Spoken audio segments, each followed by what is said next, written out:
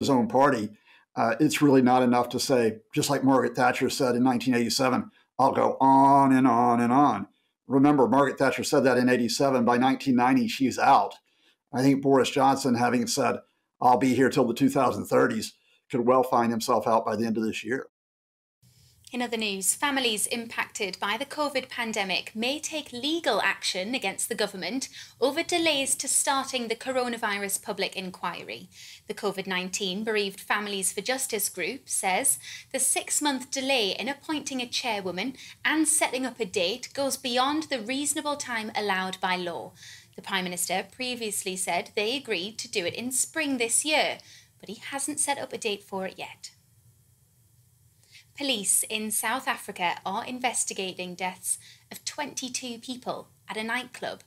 The bodies were found in the city of East London early on Sunday morning, and several people are reported to have been injured. Police say all of those who were found dead are aged between 18 and 20 years old. The cause is still unknown.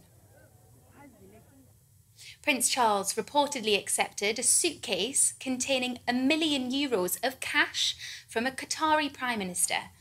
According to the Sunday Times, it was one of three cash donations from the former Prime Minister, Sheikh Hamad bin Jassim, totaling 3 million euros. Clarence House says the donations were immediately passed to one of the Prince's charities and all the correct processes were followed. There is no suggestion that the payments were illegal and killer drivers in England could spend their life behind bars under new rules coming into force this week. Reforms to the Crime and Sentencing Act will allow judges to hand down life sentences to dangerous drivers who kill and to careless drivers who kill whilst under the influence of drink or drugs. The current maximum penalty is 14 years. You're watching GB News. We'll bring you more news as it happens. Now it's time for Real Britain with Darren Grimes.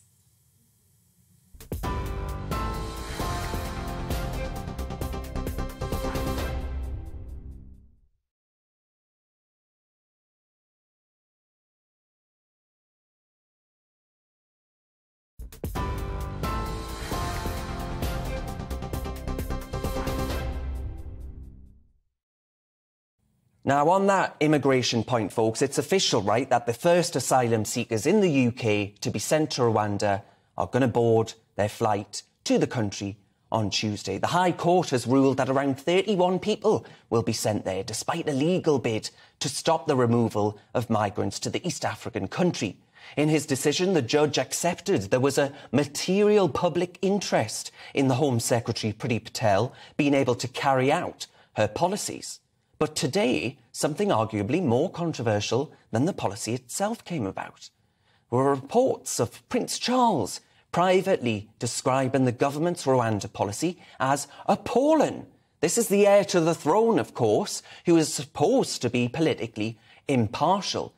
And he's thought to be particularly uncomfortable with the scheme ahead of his visit to Rwanda, where he'll represent Her Majesty the Queen at the Commonwealth Heads of Government Summit.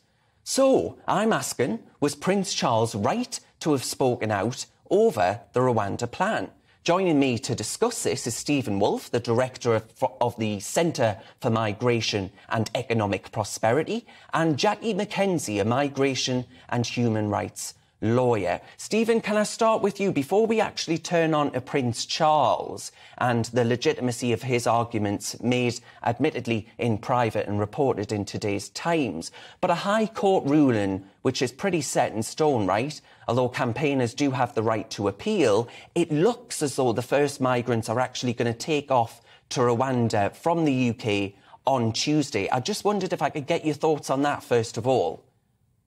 No, they won't go on Tuesday at the moment uh, because the High Court judge only gives the the first win to the government, but it also granted an appeal to those claiming that those uh, Rwandan uh, deportees should be stopped. And that will go on on Monday. And I'll be at the Court of Appeal watching for the decision. And that'll be much more important and much more significant because, of course, there were some really serious, important points raised in front of the High Court. And Jonathan Swift, the judge, uh, made it very clear that there was an important decision to be made that the government should be allowed to continue its policy. After all, it was voted to do so. But he also recognised that there were some legal claims to be addressed, and only the Court of Appeal could address those specific points. So I think, Darren, what we'll be watching on Monday is a much more important aspect of this bigger battle because it's 30 or 34 that I think will be challenged and given that opportunity. If they do go, and it's one on Tuesday, uh, Monday by the government, then there is a greater likelihood that they will go. But then there'll be other challenges along the lines to, I think, another 70 that are currently facing those same deportation uh, letters. Jackie, is this a sign of the High Court being on the side of the British people? Well, I think what's not been understood here is this is purely an application for interim relief so there could be greater scrutiny of the actual Rwanda migration plan. This is not the case that's dealing with the substantive matters. That hmm. case is being heard in six to eight weeks' time, we're told. I mean, obviously, court schedules don't always stick to the time, but um, this is about whether it's irrational to rely on evidence um, put forward by the government on the basis that, you know, some evidence that we've had from the government on things like Partygate and COVID and so hasn't really been accurate. And you have the lead experts in this, the UNHCR, saying that the government has misrepresented their evidence. Um, so it was based on irrationality. It was also based on some other things around um, whether refoulement um, would apply and whether uh, there were issues around malaria. Um, but what the judge said, what Sir Jonathan Swift said, was that um, the government has a right and shouldn't be impinged from um, promoting its po- or, or, or, implementing its policy. Yeah. Um, but that some of the points are arguable. So the ground regarding uh, irrationality on the basis of whether Rwanda is indeed a safe country. And we talked about jobs, or in the lead up to this program, there was something about jobs. And we know that Rwanda has no jobs. It's got a GNI that's 40 times less than ours and a life expectancy that's 10 years less than ours. There are all those issues. So those things will come up in the substantive hearing. He also found that the uh, the, the, idea uh, or, the, or the evidence coming from World Health Organization about malaria is not, those are arguable points. He okay. just is not granting interim relief. And of course, he gave uh, leave to appeal, and we don't know what will happen in the appeal. Jackie, a lot of people watching though today will rightly, in my view, be thinking, well, hang on, Jackie, because 10,000 people have crossed the channel this year. Surely this is the right way to actually discourage people making those perilous journeys in unseaworthy vessels. Well, but they'd be wrong because it hasn't done that. I mean, remember the migration plan has been spoken about. Remember, it was initially leaked and then, you know, it was out in the public. It's been in the public now for about eight weeks. And in that time, the numbers have increased. So it hasn't proved to be a deterrent. Uh, okay. My own position on this is that because the Home Office themselves have told us that over 75% of people claiming asylum get it, and so therefore the majority of people, the vast majority, are genuine um, people are going to have to come in whatever ways they can. We yeah. had this whole argument about safe routes. And yes, we could do more on safe routes, but there are always going to be people who are going to take perilous journeys because if you and your family are stuck somewhere and facing bombs or whatever you're facing, you're going to flee in whatever way. Oh, well, yes, but Jackie, I don't think if I was fleeing bombs, I wouldn't be fleeing France, would I? That's the that's the problem well, here. Well, but I want to ask you, Jackie, I want to ask you about Prince Charles. Stay in France. Well, three uh, times yeah. as many people stay in France, and we're number 14th of the Schengen lists, and you add us in, we're number 14 on the list. So it's a myth. And, and actually, France pays 20 euros a week more in benefits. So it's also a myth that people are coming. Well, well then benefits. why don't they stay there then? What are they fleeing? Baguettes? You know, this is just a nonsense. But Steven, I well, want to ask you be, about I mean, Prince be, Charles. We could, be, we could be ridiculous about it, but what we have is the data, and we have to look at the data. We have about 30,000 people Yeah, Jackie, I've got to move um, on to um, Prince uh, Charles. Yeah? Prince Charles. Stephen, can I ask you, do you think actually the comments reportedly, I must, it, I must stress that, right? This is just reports in the press today, but they are reporting that in private, Prince Charles has been saying that this policy, well, he fundamentally disagrees with it, frankly, ahead of the, representing Her Majesty the Queen in Rwanda. Do you agree that it's an absurd policy? It's a silly and foolish comment to make by the future king if indeed he did so. It's foolish on the first hand because everybody has appreciated the Queen over her reign for the way that she stepped outside of politics. She's tried to bring the nation together. She hasn't been seen to be so- supporting one side or another. And for the king, future king to do this will actually start to alienate many of those who are traditional supporters of the royal family. The second thing I think is really dangerous for him is the way that this comment will be read by those in the Commonwealth, and particularly in Rwanda. By saying the policy is wrong and foolish, it also is implicitly racist towards Rwanda not being capable or good enough to actually have an appropriate deal with the United Kingdom. And this goes along with what happened when we had the recent royal uh, royal trip to to the to the uh, Bahamas and what the reaction of people to, there to the royal family based on the comments of Meghan Markle that the royal family was racist. This will feed into that. And, and thirdly, I think by stepping into the lines of, of policy and criticizing the policy of uh, by the king, this doesn't set a good precedent for the royal okay. family in the future.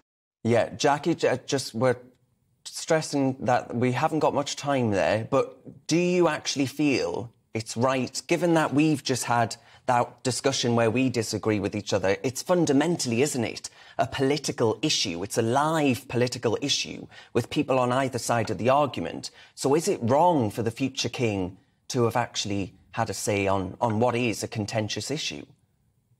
Well, I mean, he is he isn't the monarch, um, so he's entitled to have an opinion. Um, and there may well be some constitutional issues about him having those opinions, and I'm not a constitutional expert, um, you know, but what it shows from his own personal perspective, you take him away from the royal family, that he's saying what a lot of people are saying. And on the point about racism, you know, I was in a meeting this morning with uh, leaders from the CARICOM, that's the Caribbean countries, who are going off to Rwanda for the Commonwealth Heads of Government meeting.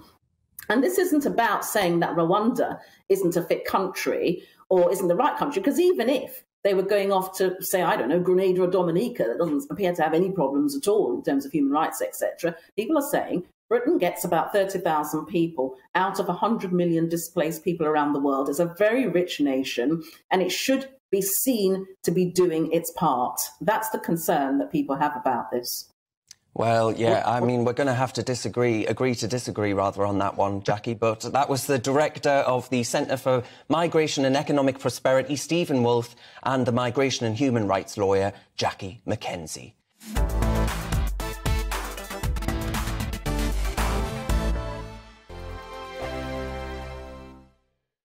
We are GB News. We're right across this great nation. On TV, on radio, on digital. Absolutely everywhere. We don't talk down to you. We embrace all voices. With honest and civilised conversation. We're not part of the establishment. We're one of you. And we're only getting started. Join us on GB News, the People's Channel, Britain's news channel. Every morning from 6 o'clock, we'll wake you up with GB News Breakfast with all the stories you didn't know from the night before. So, whether it's serious news, entertainment, or your own views from all over our great nation, we're here to kick off your day with a smile. And the national media should be reflecting and reporting what's happening here. You will notice the Northwestern accents. Whether you're with us on TV, radio, or online, every morning, it's breakfast from 6 a.m. Hope you can join us. Join us for Ministry of Offence, the comedy panel show that's just like the news, in that the left fights the right and it doesn't really seem to matter who wins. We cover the big stories. It was, in fact, a troop of baboons and not angry vegans. I like that. And the really important stories. Fat naked cow gets stuck in swimming pool. It's a headline in a lot of local newspapers. yeah. We're on the same team, Nick. Yeah, but I'm just helping you. Join us for Ministry of Offence, Saturday nights, 8 o'clock on GB News. I'm Dan Wootton. Join me Monday to Thursday from 9 to 11 for the feistiest and most fun news debate on TV where free speech reigns. I'll bring you a sharp take on the day's biggest stories, bombshell newsmaker interviews, and A-list guests. And I guarantee you, no spin, no bias, no censorship, and no reason to go to bed. That's Dan Wootton tonight, Monday to Thursdays from 9 on GB News.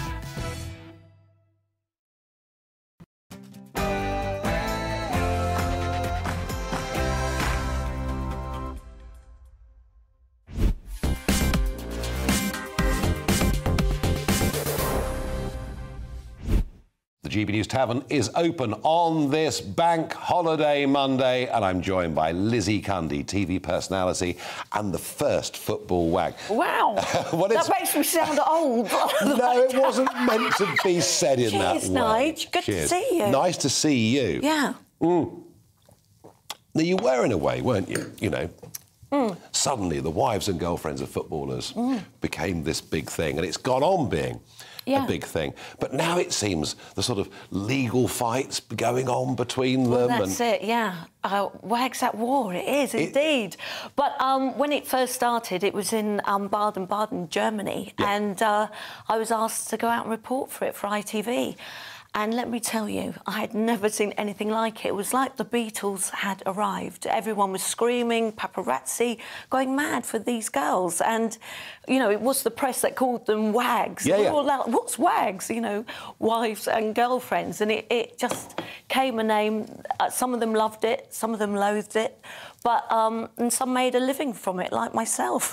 Well, you, Um, I mean, look, you know, you've gone on to do just an extraordinary array of things. Mm. You know, you've done all sorts of TV, film, journalism, radio, telly. You're still writing, I think, for OK Yes, and all yeah. these magazines. Uh, you've got your book out. you know, Tales from the Red Carpet. Indeed, Nige. You even get a mention, I think. You're in there Oh, there you are. but I mean, what was it with you? I mean, you know, clearly, clearly, you know, in uh, the marriage went wrong, and that Yeah. happens in life. But was it you sort of suddenly saw all these cameras and thought, I can do this? Well, you know what? I, I actually went on to this morning show with Jason, and he had um, testicular cancer. Yeah. And Which, uh, I, which I'd had years ago too. I didn't yeah, know yeah, that, yeah, Nigel. And I, I wanted to make a point that men were dreadful at going to the doctor. And, Quite. you know, obviously early detection is so im- important. Um, and I did a chat with them, and then afterwards they said, look, you're so comfy on the sofa and easy to talk to. Would you do this other segment for us? And then it went on from there. And before I knew it, I was out uh, with the World Cup for ITV. I had my own show called Wags World, where I'd go in footballers' drawers and get the, you know, the wives to tell me all the secrets. That went on for eight years, and Richard Desmond asked me to do OK TV, which went on for another nine years, and ITV at the movie. So really, it was a snowball effect. But my sadly marriage did split, Yeah. and I kind of had to reinvent myself. I had to work. I wasn't, um, you know, like some of these footballers' wages, which are sky high. Um, I had a family to look after, two boys, and all I thought, well, look, I'll, I'll be myself and um, know what I know, you know. And I love showbiz, love football. It's all a long way, isn't it, from Mm. being raised by nuns at a Catholic school? I know, if they could see me now. But these nuns, it's true, are a very strict Catholic school. I Yep. mean, if you saw a man in the building, a builder, we were all like, wow, there's a man here. Um, but it was, it was quite tough. But my father was in advertising, Saatchi and Saatchi. Yeah. And did lots of big brands. And so I, I made friends with the nuns and we used to do sort of deals. So I could go to Top of the Pops and go to these events when I shouldn't really be going. And they let me off getting, you know, coming in late. Well, you've done. I mean, the stuff you. What's the most fun thing you've done in this sort of celeb media world? What's the most fun? Well, I, I love the National Telly Awards. I love the Oscars. That was incredible. And um, very luckily met some amazing people, been able to interview people I only ever dreamed of as a kid. Um, and it, it's, it's a, you know, it sounds glamorous. At times I'm waiting on the red carpet, posing like a teapot in the pouring rain and wind. But I have to say, Oscars was pretty cool. It was amazing. And I, I just think, you know, it's usually the real high up named celebrities are the kindest. Those that are, you know, not so aren't so nice. But people like Tom Cruise, hilarious, you know, will come and say, join us for dinner. Yeah. Um, you know, really wonderful. Uh, and I've been very blessed, very lucky. I mean, celeb world is. Celeb world is. It's. It's. It. It. It, it shows no sign of going backwards. I mean, celebs become, in, in some ways, if you look at the younger generation, I, I, I think I could be wrong, But I think social media has accelerated Well, celeb yeah. stardom uh, to such a level. I mean, I think it's because they can be accessible. Used to be Angelina Jolie, Brad Pitt, Yeah. front cover of a magazine. Yeah. That doesn't sell anymore. Um, it, it's the, the, the, the celebs we see on the TV, the wags, they sell newspapers, they sell magazines. Because I think, you know, when you're little reading it or younger, you think, gosh, I've got a chance to be like that. When you see Hollywood signs, you think that's not obtainable. But how do these celebs stay sane? Because they can't go to, I mean, you know, I've had a bit of it in a way, but, uh, you know, you can't go to a restaurant, you can't go to a pub, and people have, I mean, you know, I've had it, I've been sitting on an aeroplane. People walk up the aisle and go in front of you and take, I mean. Yeah. I mean, it, very difficult to live any sort of normal life as a celeb, isn't it? Yeah, but I think in some way, what I think of it is that you are very blessed in a blessed situation, and um, I get many benefits. My friend Bruno Tonioli, I mean, we were out for dinner. You can't get a minute to talk to ourselves because people are coming over Yeah, asking but that's about horrible, isn't it? and- But, but isn't that, I I mean, it can be nice at times. Yeah, it can have its down parts. I, I find sometimes the intrusion into your private life and people writing things that aren't true can be tough. But I think you've got to take the tough, you know, the bad stuff with the good. And in a way, people say, well, you've sold your soul. You know, you're, you're on the Daily Mail online or you're in... Mm. But, you, you know, you do have feelings. I'm, you know, I'm not a robot. But I find if you have a sense of humour, you can laugh it off. And I, I always laugh because I remember... Yeah, I mean, you've had some tough, to. you've had some tough times with the press, haven't you? Yeah, I have, and uh, a, a you know big uh, divorce. I mean, only my mum knew that we were splitting, and before I knew it, there was a journalist on my doorstep saying, "Look, we're printing it either way. You tell me, or we're going to run it anyway." So it, that was tough. That was really tough when you've got two young kids, and your private life haven't been the best at choosing men, Nigel, which doesn't do me any favours. But um, I, well, I had, I have, I read about it. I know. we'll forget about that one. But um, yeah, it, it can be tough, that side of it. Hmm. And you and often think, are people with you because they want to get in the paper or they're thinking they can get some sort of fame or lifestyle? That It's hard to trust. Has Leveson changed this a little bit? Has Leveson? Yeah. Leveson has. I mean, I, I think before what was happening with celebs, uh, you know, was that journalists would trespass on land, take a photograph of people in a private situation, around a swimming pool or whatever it mm. was, and that was fair game to publish. And that isn't now. So is, Yeah. is the balance a bit more reasonable? It is, it is, Nigel. And Leveson, they can't just write willy nilly anything which Yeah. it used to be. Yeah. I mean, I remember picking up a certain newspaper thinking, where have they got this from? And it was totally made up, and other sources were getting paid huge amounts of money. And Well, the worst thing is when they write bad stories and they're true. well, we won't talk about those, I know. Oh, my poor mum, when she read some of the stories, it's like, yeah, it's true. But um, yeah, Leveson has helped. Yeah. But um, and the press, I think, get a hard time uh, at times. Um, you know, we have, mm, say, Meghan Markle usually whinging and moaning about the press, taking them to court. But we forget when she first arrived on the scene, everyone welcomed her with open arms. The press was, um, you know, so good about her, more so than Kate. It was incredible when you look at the. Oh, it was a press- real fairy tale start, It wasn't was, it? Yeah, indeed. no, in every and the longest honeymoon you've ever had. Oh. Now you knew her going back a bit, didn't you? I knew her in, when she was in a show called Suits. Yeah. We're going back. Uh, I mean, I didn't know who she was at the time. And I was at a charity event, um, and I think you may know him, John Caudwell's. Yeah. And he said, Look, can, can you sit next to this girl? Um, she's flown in from Canada. And I wanted to be with my mates. I was like, no, I'm gonna, I want to sit with my friends and have a giggle. He was like, no, look after her. But actually, we got on really, really well, and had, a, we did have a huge giggle. And she wanted to find an English boyfriend, so I said, look, I'll help you. So I was going through my phone. There was Ashley Cole, Chelsea footballer. Um, I was trying, but um, yeah, it was it was quite funny. But she did want to have an English boyfriend. That was her plan all along. Yeah, and she, li- she Yeah. loved being here in, in London, so she wanted to work here. She actually wanted to be in Made in Chelsea, the show. I remember saying she loved the show. Really? But she was she was a real good, fun girl. And how she behaved since? Well, no, she ghosted me and Piers Morgan. Uh, she didn't. Uh, uh, when she got with Prince Harry and it all, you know, happened. She, she did cut off a lot of people, which I understand because I think celebrity is very different to to royalty. Of course.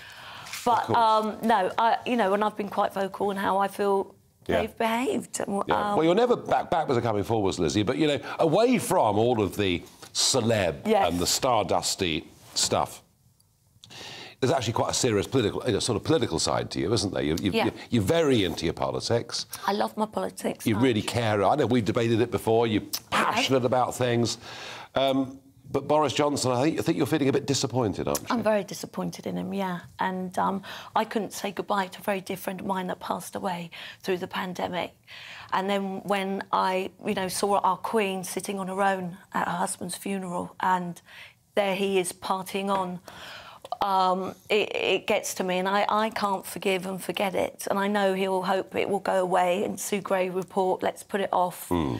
with everything else. But I, I really don't think for me and many others and thousands and thousands of families out there that can say goodbye to their loved ones can forget it. And I'm sorry, if we haven't got a Prime Minister we can trust, that is, I mean, how can we go on? But it was interesting. I don't know whether you saw earlier on, I had a, you know, quite a well-known pollster on earlier. You know, 72% in one poll, 75 in another, think the Prime Minister is a liar. Now, you know, if we'd said that 20, 40 years ago, it would have been unthinkable mm. that anybody could be in that position as PM. But interestingly, what Chris Curtis said he said, the trouble is, he said, actually, the public think they're all liars, so Boris Johnson is not as disadvantaged by this. Uh, but you feel it, it, it is a matter of trust, in Well, it is a matter of trust. And if we, we can't trust our own Prime Minister, I mean, we're becoming the laughing stock of every... I don't believe anything now he says. And I know we're, we've, we, it's horrific what's happening in the Ukraine, and people are saying, mm. oh, there are far more important things. Actually, you know what? This is still important and it's not going to go away. And I think he's hoping we can brush it under the carpet. But no, we can't. Thoughts on, uh, thoughts on Priti Patel's plan for Rwanda? Will it stop the cross-channel? Problem? I don't know, Nigel. I heard you earlier, mm. but. I, I, it's very sad. I, it's just a whole sad situation. But I, I just don't like. I just think if you're going to take that crossing, you know you want to get here for a better life, and you, you know, and but sending them back, will it deter them? Will it stop them? I think it might. I think it might do that. yeah, I, mean, I, think this is my view. If they actually did send people to Rwanda, then why would you pay two and a half thousand no. quid to a criminal gang to get you across the channel? But will know? it stop the criminal gangs? They'll still continue, will it? I mean, well, at the end of the day, it's all about those who are paying the traffickers. I mean, look, let's see where we go with it. It's very, very new. I mean, I'm giving her credit for at least trying something. Mm. Uh, you know, and it is an ongoing problem and it is an issue. So what's going to happen post Boris? Who is there post Boris? Can you see the next leader? Nigel, what happened to you? Come well, on, I'm Nigel. Not, but they won't have me in the Conservative Party, so it can't no, be me. I'm too much the outsider, you know. Nigel, I think we've got to get some, I don't know, one of the backbenchers, Bernard Jenkins. I used to, uh, I mean, I, I know you're laughing, but... I no, I'm not laughing. We need someone that yeah. we can feel we can believe in again. Yeah, no, absolutely. And Boris for me has become a bit of a buffoon. Great showman. Look, oh. he's like Trump on a budget. Oh. He's your friend. he is, isn't he? Great showman. Uh, do you know for the, the shows he's great at, but. Yeah, he's a cheerleader. He's a great cheerleader. I've always thought that, you know. Have I got news for you? He's fantastic. Yeah, but yeah, yeah. not as our Prime Minister. No, we well, have to have someone who we can trust. I, I think a growing number of people think, Lizzie, that you're right on that. Now, look, you mentioned the Oscars earlier. Yeah.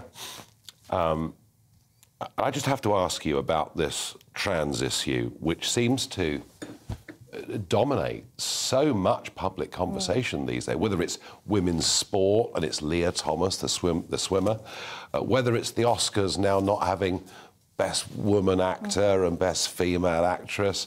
I, are we losing our minds? I think it's gone one step too far, and I think the woke brigade have come in, and we can't I think it's sad. I mean, look at Adele. She even said it when she won the award. You can't be celebrated as a female artist. She said it with passion, didn't she? And she said it with passion. And the music industry is a very male-orientated industry, as is the film business and not to be celebrated as a woman to strive and get through what you've got through to be celebrated. And we are different. Let's be honest. It's it's, it's genetics. We are different, and thank oh, the Lord we that, are. You can't say that. You're no, but we are different in some ways, and I just think it's. A, I, I know we have to move on in times, but it's sad we can't be celebrated. Uh, I, I think it's quite sad. And look, we've got the soap awards heard that have, have scraps having any, uh, you know, best actress, best actor, it's all gone. It's crackers. And I just feel that some of the actresses and actors will lose out because of that. Yeah. That's my view. No, there's no doubt. Lizzie Cundy, thank you for joining me on Talking Pints. Lovely to see you, Cheers. Cheers.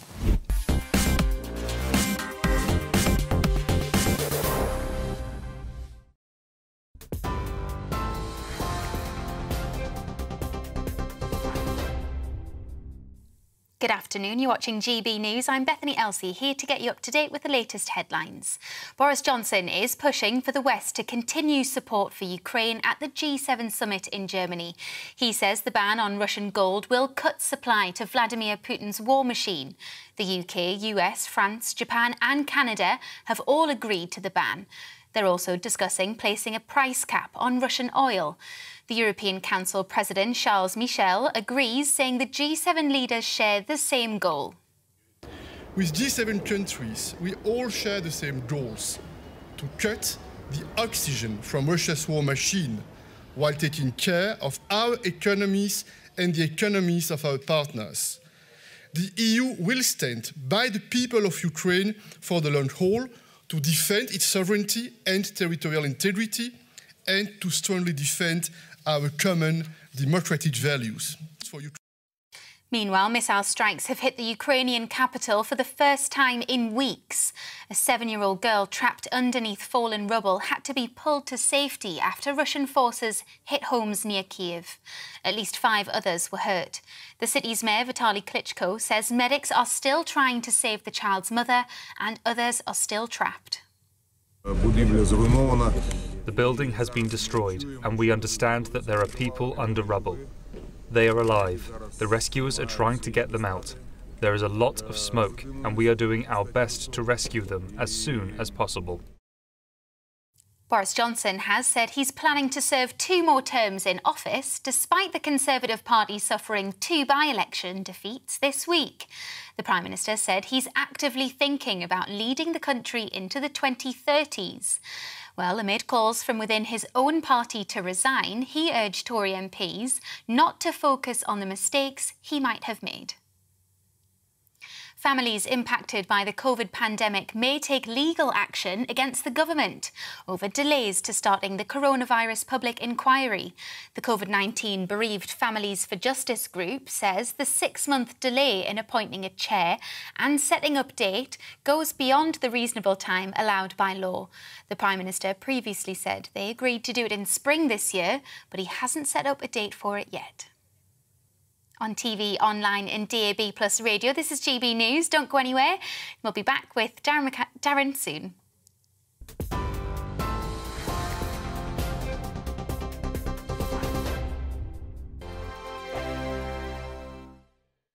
We are GB News. We're right across this great nation. On TV, on radio, on digital. Absolutely everywhere. We don't talk down to you. We embrace all voices with honest and civilised conversation. We're not part of the establishment. We're one of you. And we're only getting started. Join us on GB News, the People's Channel, Britain's news channel. Every morning from 6 o'clock, we'll wake you up with GB News Breakfast with all the stories you didn't know from the night before. So, whether it's serious news, entertainment, or your own views from all over our great nation, we're here to kick off your day with a smile. And the national media should be reflecting and reporting what's happening here. You will notice the northwestern accents. Whether you're with us on TV, radio, or online, every morning, it's breakfast from 6 a.m. Hope you can join us. Join us for Ministry of Offence, the comedy panel show that's just like the news, and the left fights the right and it doesn't really seem to matter who wins. We cover the big stories. It was, in fact, a troop of baboons and not angry vegans. I like that. And the really important stories. Fat naked cow gets stuck in swimming pool. It's a headline in a lot of local newspapers. Yeah. We're on the same team, Nick. Yeah, but I'm just helping you. Join us for Ministry of Offence, Saturday nights, 8 o'clock on GB News. I'm Dan Wootton. Join me Monday to Thursday from 9 to 11 for the feistiest and most fun news debate on TV where free speech reigns. I'll bring you a sharp take on the day's biggest stories, bombshell newsmaker interviews, and A-list guests. And I guarantee you, no spin, no bias, no censorship, and no reason to go to bed. That's Dan Wootton Tonight, Monday to Thursdays from 9 on GB News.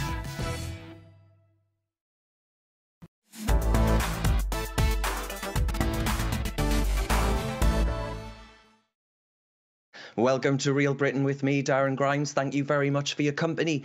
Now, folks, on Thursday, the Conservative Party lost two vital by elections in both Wakefield and Tiverton and Honiton. The party chairman, Oliver Dowden, resigned at 5.30am, mounting further pressure on the Prime Minister.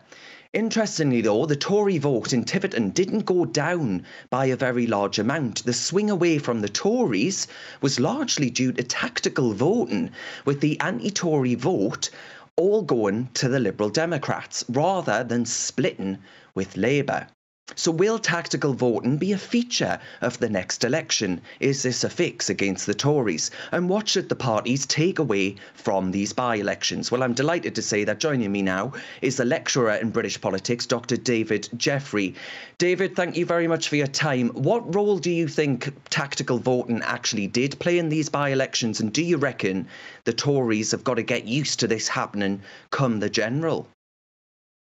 Uh, well, yes, it clearly made a massive difference uh, in these in these by-elections, and it's essentially part of the system, right? If you are an anti-conservative voter in Tiverton and you don't want to see a Conservative MP, then it makes complete sense. It's completely logical to vote for the Liberal Democrats. In the same way that in Wakefield, it made complete sense to vote for Labour, and the Conservatives can complain about that uh, all they want, but that is a a feature that is the only opportunity to voters in a system that they're actively backing. And it's quite interesting to the Conservatives are complaining essentially about a key part of this voting system, whilst they then also extend the voting system, first past the post, to other positions that we have in the UK, for you know, including metro mayors. So they, they can't really complain about what people do under first past the post when they're looking to expand it themselves.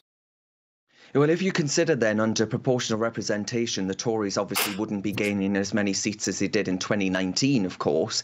What do you actually think the future, if I can ask you, David, to play the role of Mystic Meg for a second, but what do you think the future of the Tory party would actually look like if the electoral system was changed? Well, I won't get my crystal ball out on TV, but I think if we did have a form of PR, we, we'd probably see. Uh, uh, we'd see a centre left coalition basically the, the Lib Dems and, and Labour, and then against a, a centre right coalition uh, that would be rooted in the Conservative Party, but that would bring in the Brexit Party as well. And so, in some ways, perhaps Boris Johnson would have been in a stronger position under a form of PR, and the Conservatives probably would have been in a stronger position because they would have had UKIP and then the Brexit Party uh, with a significant number of seats. Let's not forget UKIP won 12% of the vote in 2015 and, and ended up with just one seat, which is massively disproportionate. And so the advocates of PR, which generally come from the left, but not, not exclusively, tend to forget this that there would be about 80, 90 UKIP MPs in the House of Commons in, after 2015. And there's nobody else they go into coalition with, really, apart from the Conservatives. So it would actually put the Conservatives in, um, well, maybe not a stronger position after 2019, but it would certainly it would certainly soften the edges of any defeats they might have because they would have coalition partners. Yeah, I mean, I'm wondering then uh, the Labour Party and the Lib Dems have been on the airwaves this morning, and both of them have been sort of, I, I, guess, showing a little bit of leg, David, but not actually suggesting that they're about to hop into bed with each other. But do you think that they're taking the electorate for fools? Do you think it's ultimately inevitable that these two parties, without Labour winning, making significant gains in Scotland, will end up seeking coalition with each other? I think they'll have to. If it seems at the moment, it still seems unlikely that Labour will win a majority, and like you say, without Scotland, that, that that's even more difficult. Um, and after 2010, the Liberal Democrats would probably never go into a coalition with the Conservatives for, for another generation. So this leaves Labour only with the Liberal Democrats. Now, whether that's taking the electorate for fools, I, I don't know, because it seems to me that the people in, in Tiverton and the people in Wakefield knew exactly what they were doing when they cast their votes. Either they were voting for, essentially, for Boris Johnson or against him.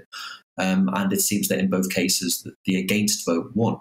Um, we've seen a rise in tactical voting. It's never quite been the dog that, that barked um, so it's never it's never bit yet. But it seems increasingly likely that these two parties will stop short of a full electoral pact because voters don't like being denied the choice. But for voters who do want to know who's best placed to defeat the Conservatives, then this is the only tool really that Labour and the Liberal Democrats have without really offending yes. public opinion. And it's I worth noting as well that we're not speaking about the Greens yeah. here either, right? They're they're kind of frozen out of this because really they're not very important in this. Eh, well, exactly. But I'm wondering then the uh, Prime Minister this morning saying he's going to stay on and, as long as Maggie did, right? So uh, until 2030, you've saying this morning. I mean, that if we consider that these two by elections were perhaps a referendum on Boris Johnson, as I think you suggest, David, does that suggest that his, his days are numbered? I mean, anybody who narrowly escapes a confidence motion with such a small majority as he did, his, his days are numbered anyway. And if Tory MPs aren't going to remove him, it seems quite clear that the electorate will. And what is quite interesting at the moment is the Conservative Party's brand is much uh, is is much stronger than Boris Johnson's own personal brand. So time is running out really for Conservative MPs to to make a move. Um, and if they leave it too late, it will be seen as very cynical. Well, speaking of that polling, though, David, as well, one thing that I've noticed is that the the uh, I guess the traditional stereotypes that you would apply to the Conservative Party, strong on law and order, big on defence. Sure, they've still got the two of those. But when it comes to things like uh, management of the economy, taxes, and general uh, not pandering to what I would consider to be the green extreme, David, I think actually the polls would suggest that people are changing their view of those core stereotypes of the conservative brand. Is that fair? I think so, yeah. I mean, it's important to remember we're seeing inflation, which is traditionally, historically deadly for governments. Um, we're, we're seeing examples of poor handling of the economy. Taxes are going up. We can all see that in our pay packets. So, all these things that people vote Conservative for aren't being followed. So it seems to, it seems to me that Boris Johnson so poisoned his own brand and he's kind of taking the Conservative Party down with him slowly. The best thing would be for MPs to get a collective backbone and find somebody else. And I mean, it, people always say it's not clear who the next leader could be. But people always seem to think that, and then you do get a new leader, and all of a sudden, it, people will look back and go, "Oh, it was obvious; it could only have been that person." Well, David, we'll see what's going to happen because I mean, Boris Johnson has been written out before and come back galloping on a sort of valiant steed like no one expected. So, David, we'll see. But thank you for playing my Mystic Meg. That was the lecturer in British politics, Dr. David Jeffrey. Now, folks, nine in 10 businesses are concerned about costs of funding the transition to net zero or net stupid, in my view.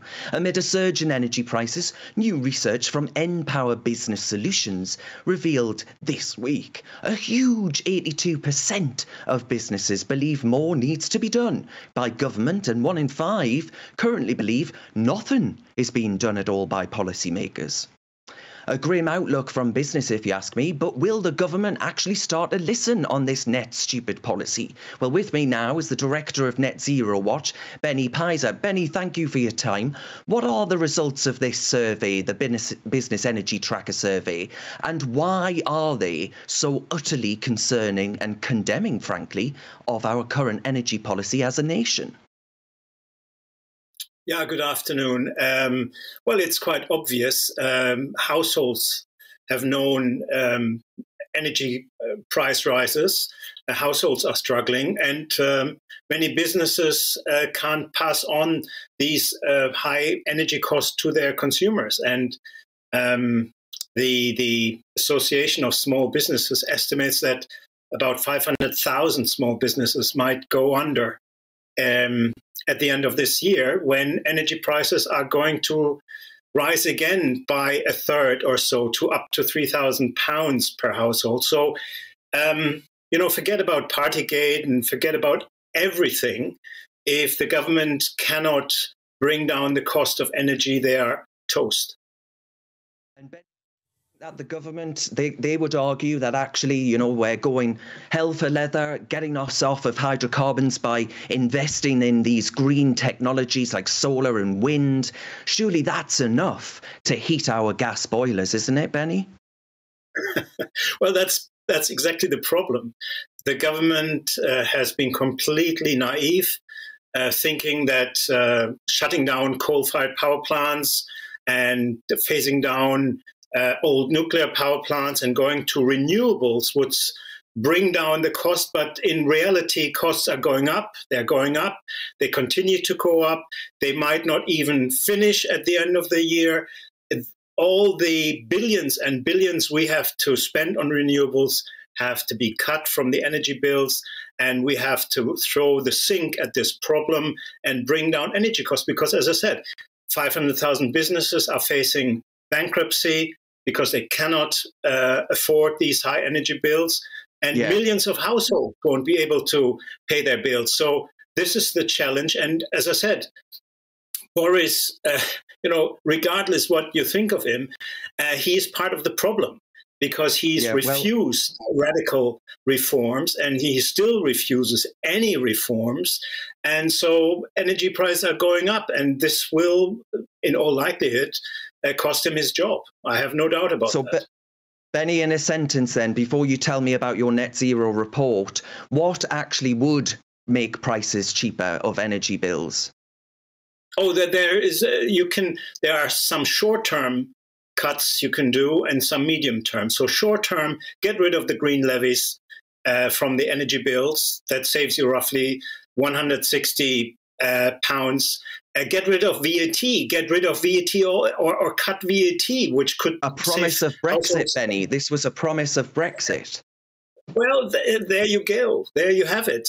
Um, so there are short-term measures that the governments could take, and I'm talking here VAT not just on energy bills, but VAT on anything to do, you know, with services and goods that are energy related. It could cut uh, households' bill by thousands Absolutely. of pounds if the government so the government Common has an option. Benny. They are refusing to do it. They are refusing. They, their net zero agenda is their top priority, which is absolutely exactly. Mad. Benny, tell me about your report. Which report? Your net, your Which new report? net zero watch report, new one out today. Oh, right.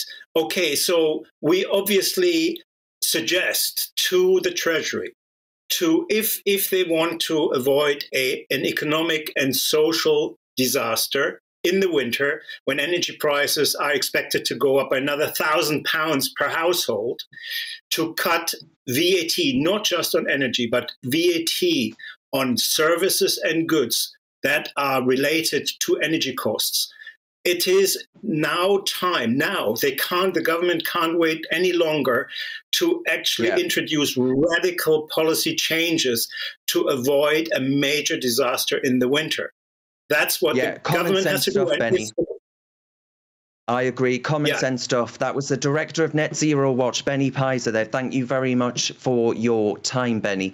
Now, next up, the activist Jack Ross, founder of Vans Without Borders, has been providing vital food and supplies to people affected by the war in Ukraine. He's crowdfunded uh, and helped British volunteers travel to Ukraine and aims to reach areas other aid workers have potentially neglected.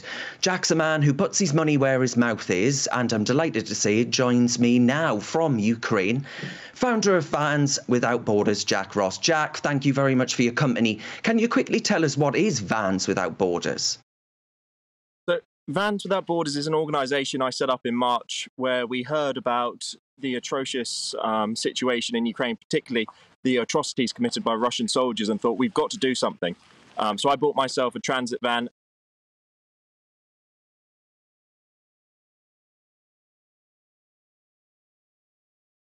We just lost Jack there from Ukraine. So, as you can imagine, the signal's not all that brilliant at the moment. But Vans Without Borders is a fantastic campaign that Jack has set up. He has videos across social media of him handing out with activists who have gone out there from this country putting themselves at risk actually to help people in Ukraine. A really beautiful, laudable thing. I'm sorry that we couldn't speak to him. But, folks, moving on, the Prince of Wales has accepted countries who still call the Queen their head of state that to choose their own destiny, right? Replace the Queen potentially with a president. Speaking at the Commonwealth Heads of Government meeting in Rwanda on Friday, the heir to the throne also acknowledged the royal family's role in historic slave trade. Our royal reporter Cameron Walker reports. Friendship, loyalty, and a desire for freedom and peace. Her Majesty the Queen's vision for a Commonwealth which bears no resemblance to the empires of the past. 70 years later, her son Charles accepts that countries who still have a British sovereign as their head of state may want to choose a different path. Each member's constitutional arrangement, as republic or monarchy, is purely a matter for each member country to decide. Arrangements such as these can change calmly and without rancour there was no apology from the heir to the throne for the royal family's historic role in the transportation of East African slaves to the Americas, whose ancestors now debate republicanism versus royalty. Instead, the prince decided to acknowledge the wrongs and urged Commonwealth leaders to do the same. Earlier this week, Prince Charles came face to face with the grim reality of the 1994 genocide against Tutsis in Rwanda. Rows of skulls, belonging to some of the estimated 800,000 victims. And it was Eric Marangwa's suggestion, a survivor of the genocide, who encouraged Charles to visit the memorial and reconciliation village. Eric thinks the prince's visit will help more people understand what happened and how Rwanda is rebuilding. It's a very important action to, to us Rwandans, particularly survivors, but it's also a very important message to the rest of the world. It will help people to to understand more about Rwanda and uh, to appreciate uh, how, how far this country has, has come. The Prince represented the Queen yesterday and met Prime Minister Boris Johnson for a meeting that lasted just 15 minutes. The elephant in the room? Prince Charles's reported comments where he branded the government's scheme to send asylum seekers to Rwanda appalling. Prince Charles will one day succeed his mother as head of the Commonwealth and as head of state. And a source close to the prince says just as with meetings with the Queen, what the Prime Minister and the Prince of Wales discuss is private. Clarence House previously stressed the Prince remains politically neutral. Cameron Walker, GB News. Folks, it has ever been thus, right, that these Commonwealth members are free to come and go as they please as democratic nations. But, folks, you're watching Real Britain with me, Darren Grimes. Looking ahead, we're going to go off now to the weather. Looking ahead to this evening's weather, and the UK is looking fine but breezy in the southeast, wet with windy weather further north and west. Let's take a look at the details. In southwest England, there will be some showers for northern and western parts. Further east, it will be drier and sunnier but blustery. In southeast England, there will be plenty of sunshine as we head into the evening. It will be dry here with some high level cloud. Western parts of Wales will still be windy, especially around the coast, with the showers continuing here. Further east, it will be drier. The West Midlands is looking mostly fine through into the evening, though you can't rule out one or two showers still popping up here and there. There will still be a breeze too. The weather should be mostly fine and quite warm for northeast England too. Again, a few showers are possible, but mostly here we'll avoid them, especially nearer the coast. There will be plenty of showers across Scotland, the heaviest in the west, with some eastern parts perhaps staying mostly dry. It will be windy too, though the strongest winds easing. It is a similar picture for Northern Ireland here and there. Will also be plenty of showers as we head through the end of the day with some blustery winds as well. The showery rain will continue to spread from the north and west overnight east southeastern parts will remain fine. That's how the weather's shaping up overnight into tomorrow morning. Hello, I'm Alastair Stewart and I'd invite you to join me at noon on Saturdays and Sundays for Alastair Stewart and Friends. I've been in this business for over 40 years. Now, here at GB News, I've never been happier. I get to choose the big stories that really interest me. We hear what you have to say, and you hear what I have to say. I really hope you can join me noon on Saturdays and Sundays.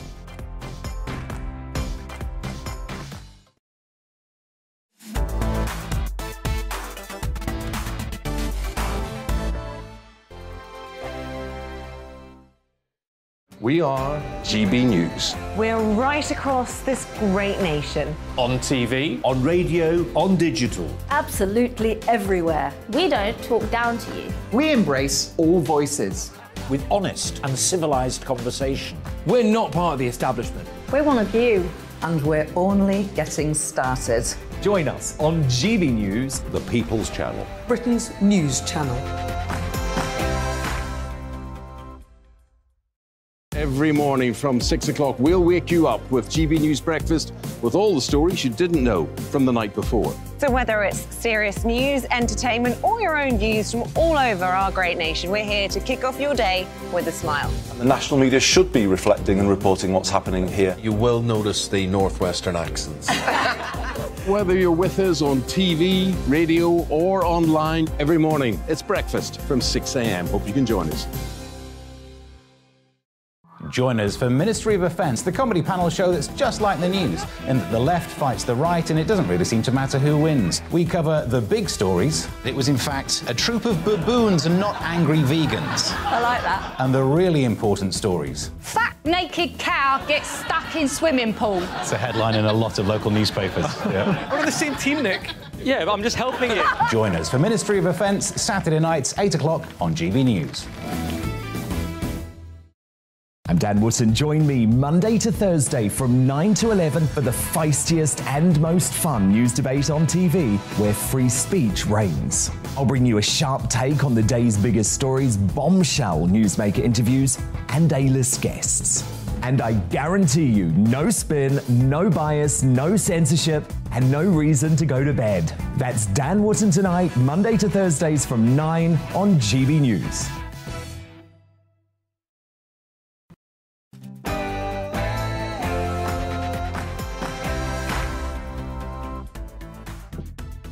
Hello and welcome. This is Real Britain with me, Darren Grimes. Cheers very much for your company.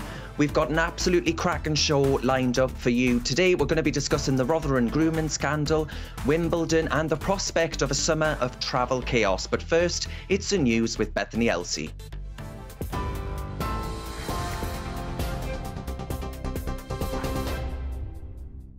Darren, thank you. It's just gone three o'clock. I'm Bethany Elsey, here to get you up to date from the GB newsroom.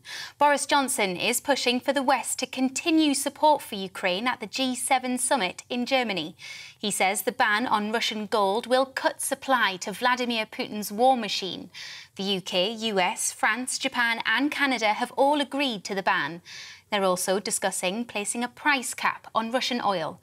The European Council President Charles Michel agrees, saying the G7 leaders share the same goal. With G7 countries, we all share the same goals to cut the oxygen from Russia's war machine while taking care of our economies and the economies of our partners. The EU will stand by the people of Ukraine for the long haul to defend its sovereignty and territorial integrity and to strongly defend our common democratic values. Deadly missile strikes have hit the Ukrainian capital for the first time in weeks.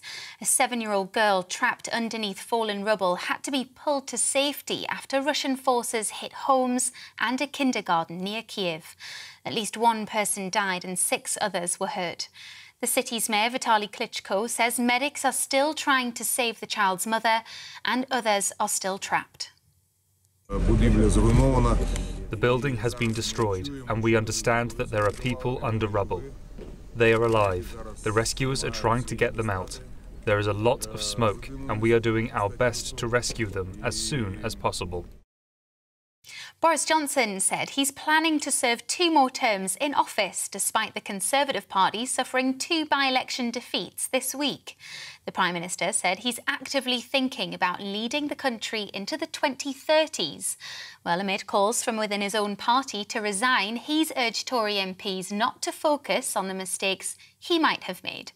The Northern Ireland Secretary, Brandon Lewis, told GB News the PM's optimism is a good thing. And we often get criticised in politics and in government around looking at the next election, the next week, the next few years at most. Having somebody who's looking at that long term benefit, long term development of our country, I think is a good thing. And the enthusiasm and the drive and the energy that the Prime Minister's got for that, and the determination around that, I think is a, is a really positive thing. Well, Professor of International Politics at the University of Birmingham, Scott Lucas, told GB News he doesn't expect Mr Johnson to survive until the end of this year. Is in trouble over the economy. He's in trouble over uh, his own statements with Partygate when he's lost the confidence of almost 80% of his backbenchers of his own party. Uh, it's really not enough to say, just like Margaret Thatcher said in 1987, I'll go on and on and on. Remember, Margaret Thatcher said that in 87. By 1990, she's out. I think Boris Johnson, having said, I'll be here till the 2030s, could well find himself out by the end of this year. In other news, police in South Africa are investigating the deaths of 22 people at a nightclub. The bodies were found in the city of East London early on Sunday morning, and several people are reported to have been injured. Police say all of those found dead are aged between 18 and 20 years old. The cause is still unknown. Families impacted by the COVID pandemic may take legal action against the government over delays to starting the coronavirus public inquiry. The COVID 19 Bereaved Families for Justice group says the six month delay in appointing a chair and setting up a date goes beyond the reasonable time allowed by law. The Prime Minister previously said he agreed to do it in spring this year, but he hasn't set up a date for it yet. This is GB News. We'll bring you more news as it happens. Now, though, let's get back to Real Britain with Darren.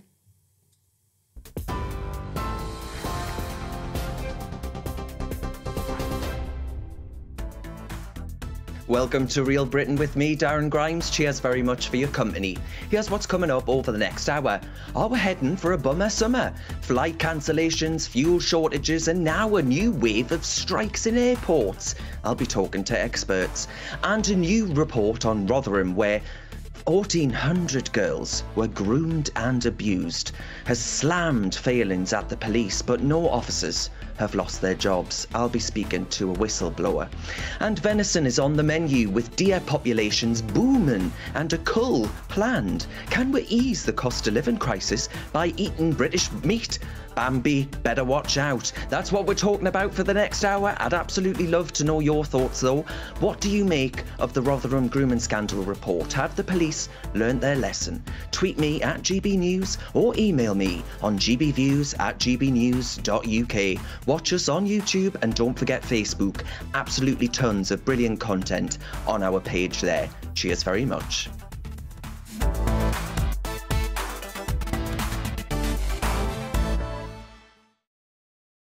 In today's identity obsessed West, identity matters above all else until your identity gets you butchered by Islamist ideology. We're a nation increasingly obsessed with diversity. If you're gay, bi, trans, and whatever more recent attachment to that LGBT alphabet soup there is today, as long as you're not straight and preferably not white, well, kid, you'll go far. Despite this, you probably haven't heard about the more recent murders of gay people in Europe at the hands of Islamist terror. In Oslo last weekend, two people died and a further 21 were wounded after shootings in and around the London pub, a popular gay venue there. In Sligo, Ireland earlier this year, two gay men were beheaded and you may not be aware, but in June 2020, here in Blighty, three gay men were stabbed to death in Reading. Had these attacks been at the hands of some white neo Nazi, you would know about it because our news outlets would feel comfortable reporting the facts and just how pro the LGBT community they are, whatever that means. But when, folks, it's Islamist terror, it'll be dismissed as a mental health issue. Maybe it was a trauma of coming here as a refugee from a war torn nation, some form of PTSD. But still, it's never, never, folks, the barbaric ideology that underpins these murderous crusades. Identity matters until you're at risk of highlighting the Islamist threat to that diverse array of identities in Britain. This all comes just days after the publication of a £6 million investigation report by the Independent Office for Police Conduct Watchdog, which found South Yorkshire officers failed to protect vulnerable kids between 97 and 2013 an eight year long, six million quid investigation into the Rotherham grooming gang scandal, and not one, I repeat, not one single officer has been held responsible for these numerous failings during a time in which over 1,400 girls were sexually abused in Rotherham. That's 1,400 girls whose lives were dismissed as unimportant because authorities feared that they might be accused of racism. As it was previously claimed in the government's Alexis Jay report, this new report even claims an officer working for South Yorkshire Police gave one of the country's worst child abusers a no arrest deal after he abducted a teenager. You see, folks, identity matters. Being a woman matters. Being part of the LGBT plus alphabet soup matters. Until, until you're sexually abused or murdered by somebody higher up the identity pecking order than you. Then it's silence and a cross of the fingers in hope that this all goes away. Islamism is different from Islam. Of course it is. One is a religion and one a fascist ideology. Some followers of Islam face discrimination, like some followers of Christianity do, that's wrong. But this fact shouldn't make us fear criticising Islamism and wrongs committed by followers of a certain religion. To hold Muslims to a lower standard, as I believe South Yorkshire Police did, is itself racist. I wonder when we might say enough is enough, especially when many undocumented men are coming over the English Channel Goodness only knows, folks, how many of them share our values on women's rights and LGBT plus equality. But we can't discuss these issues. Hell, folks, I might even be removed from twitter.com for saying this right now. But in my view, to hell with it. No conversation should be off limits, especially conversations about a life threatening and life ruining pandering to a barbaric Islamist sect.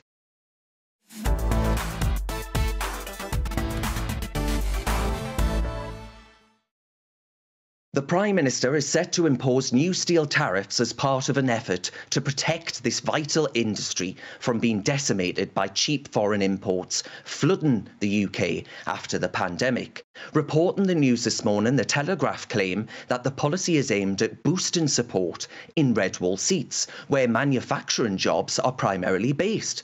So is this smart economic nationalism or regressive protectionism? Well, joining me now is the director of the Adam Smith Institute, Dr. Eamonn Butler. Dr. Eamonn Butler, I can guess what your view is. What does this mean, though, for British Steel? Do you think in imposing tariffs to actually protect this industry will mean that British Steel thrives?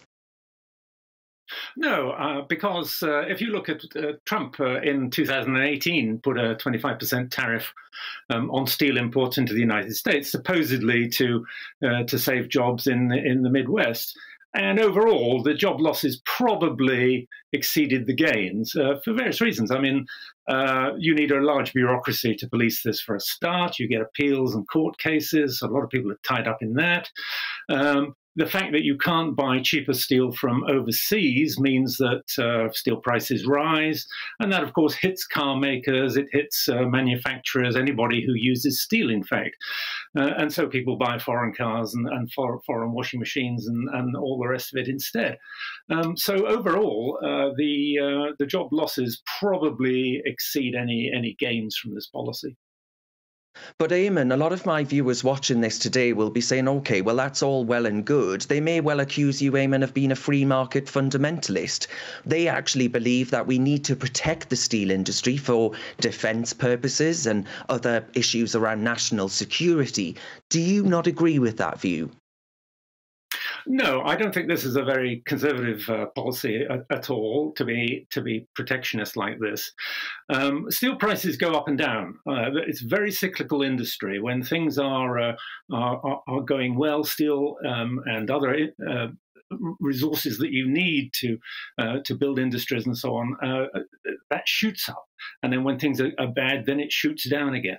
And steelmakers have to have deep enough pockets to ride out those big ups and downs, um, but, because they do happen, and that's what's happening at, at the moment. And uh, if you if you cut off uh, foreign supplies, all you're doing is to um, pander to the uh, to the your domestic uh, producers and, and featherbed them and make them less efficient than they might otherwise be. Okay, Eamonn, but what about our reliance upon China, for example? What can we do in order to wean ourselves off of the teat of the Chinese communists? Well, I think we should do an awful lot, frankly. I mean, I think I think we should see in that in that case, yes, I, I think we should see trade as being part of foreign policy. Uh, we don't want to buy stuff from bad guys, and uh, the Chinese are proving themselves uh, one one day at a time uh, to to be bad guys. and it's the same same with Russia. We need to to wean ourselves off uh, uh, Russian energy, and, and Europe in particular, the EU in particular, needs to do that um, you, have got to have an alternative. That is true, but uh, it's a big world out there. We can buy steel from uh, from anywhere in the world. We don't have to buy it from China, um, and uh, we, I don't think we do buy much from China. Uh, and also, of course, you know, remember that a lot of steel is specialist steel that we don't necessarily make in this country. Uh, steel comes in all sorts of um, sizes and, and, qualities, and that was another thing which uh, the Americans found when Trump imposed tariffs on steel in, in America that uh, manufacturers who needed special specialist steel couldn't actually get it. Um, so it's much better to to be in the world market and uh, uh, keep yourself open to to competitors from abroad. It keeps you on your toes, but it means that your own manufacturers can get the steel that they want. Eamonn, what I think uh, ultimately is that the steel industry in this country had a kiss of death given to it when Theresa May, remember her, signed net zero by 2050 into law. To me, it's fundamentally incompatible with a energy intensive industry such as steel. So is this just the kiss of death for for the steel industry no. without these tariffs prematurely, perhaps? Uh, it's certainly true. It's a very high energy uh, using uh, industry, and, and, therefore that must have made a difference. I mean, I mean, I think our steel industry suffers from half a century of public ownership. It was it was uh, expanded really in the 50s and 60s, uh, that long ago, uh, as, as, a state industry. It was only privatized under Mrs. Thatcher in, in the 80s, um, and uh, it, it, it really was a basket case. It really had to turn itself down, even around, even to uh, uh, to be saleable. Um, so there's still that overhang in British steel making, and I'm, I'm not. I don't know what his future is. If I knew that, I'd be a billionaire. But uh, I, I, I, think that there are plenty of people who are producing steel in, in other countries that is of, of better quality uh, than we can we can make, and better quality than the Americans can make. Do you think Mrs. Thatcher will be turning in her grave, Eamonn? well, yes, indeed. As I say, it's not a very conservative uh, uh, policy. The and, and one, of course, one of the arguments for Brexit was that we could get out of EU tariffs on everything, and you know, and become part of the world trading system uh, and be open to free trade uh, with anybody that wanted to trade for us. And here we are. The first thing we do is slap a tariff on something. It doesn't send out the right signal that Britain is open for business and Britain actually wants to be a free trading nation and to make other nations nations free trading nations too. Okay, Eamonn, we'll leave it there. That was the director of the Adam Smith Institute with brilliant analysis, Dr. Eamonn Butler.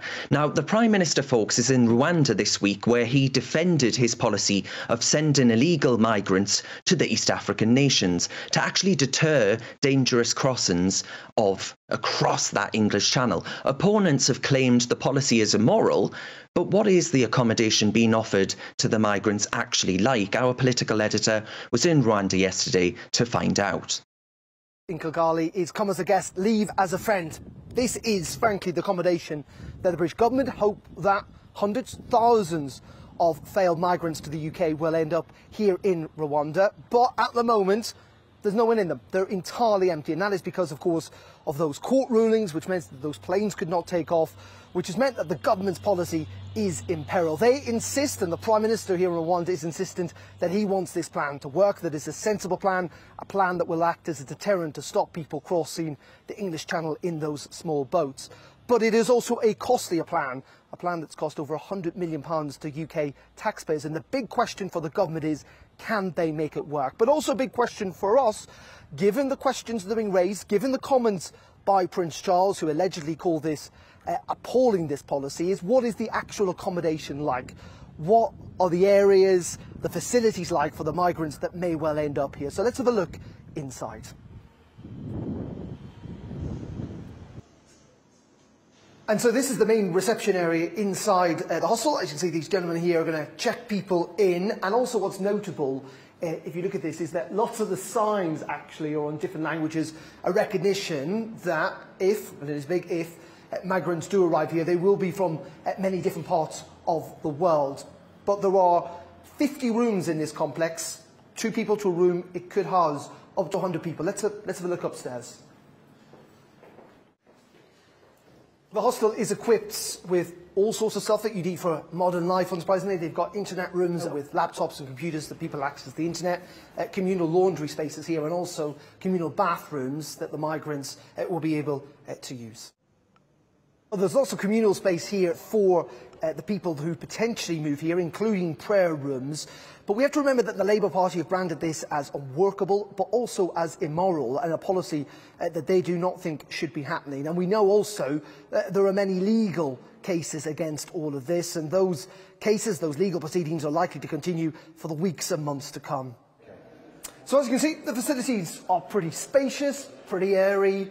Frankly, they're quite smart in uh, this complex. And we take you through to kind of show you what the rooms are like. As I say, the rooms going to be shared uh, ultimately, but, you know, they are very tidy, they're very clean. Uh, there's a lot of space here, even for uh, two people. And in the end, the government are hoping they're going to fill these rooms. And the Rwandans, it must be said themselves, are very proud of these facilities. And it's not just this complex, there are others on standby as well. But the big question, of course, for the government is ultimately, will people end up in these rooms? They've paid 120 million quid for them. The Rwandans tell them, us, they've already received that money. They've already spent that money. The big question is, if they cannot get this policy to work, those planes do not take off, will that money ultimately have been wasted for British taxpayers? Looks like a canny holiday if you ask me, but folks, there's plenty more to come this afternoon on Real Britain. Next, we're going to be heading to Scotland for all the latest on the Royal Highland Show. We'll be there live, but first, let's have a little look at what the weather's getting up to. Looking ahead to this evening's weather, and the UK is looking breezy in the southeast and wet and windy in the north and west. Let's take a look at the details. In southwest England, there will be some showers for northern and western parts. Further east, it will be drier and sunnier, but a bit blustery. In southeast England, there will be plenty of sunshine this evening. It will be dry here with some high level cloud. Western parts of Wales will be windy, especially around coastal areas, with the showers continuing Yes. here. Further Yeah. east, it will be drier. The West Midlands is looking mostly fine throughout the evening, but it will be breezy, and there could be one of two showers here and there. The weather should be fine and quite warm for the northeast too. A few showers are possible, but it will be dry for most, especially near the coast. There'll be plenty of showers across Scotland, the heaviest in the west. Parts of the east should stay mostly dry. It will be quite windy here as well. It's a similar picture for Northern Ireland. There'll be plenty of showers as we head through the evening, with some blustery winds here as well. Showers will continue to spread from the north and west overnight. Southeastern parts will remain fine, and that's how the weather's shaping up overnight into tomorrow morning.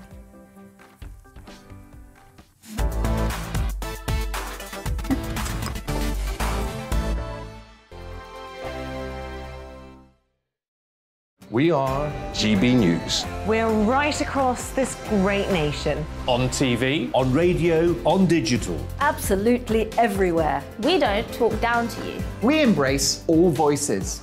With honest and civilised conversation. We're not part of the establishment. We're one of you. And we're only getting started.